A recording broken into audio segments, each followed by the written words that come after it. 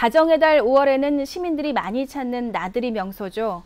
대전 오월드에서 이번 주말부터 장미 축제가 시작됩니다. 자세한 소식 대전시 인터넷 방송 송규 아나운서가 전해드립니다.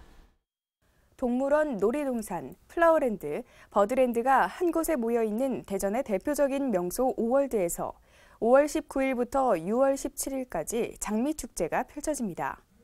사계절 다른 테마의 축제를 운영하고 있는 오월드는 이번 축제에 형형색색의 백만 송이 장미와 조형물을 플라워랜드 곳곳에 설치해 방문객들에게 화려한 볼거리와 포토존을 제공할 예정입니다. 또한 야외 공연으로 레인보우 스테이지에서는 정글북 모글리의 모험과 캐릭터 댄스 파티가, 범퍼 스테이지에서는 스트리트 마술쇼가 진행됩니다.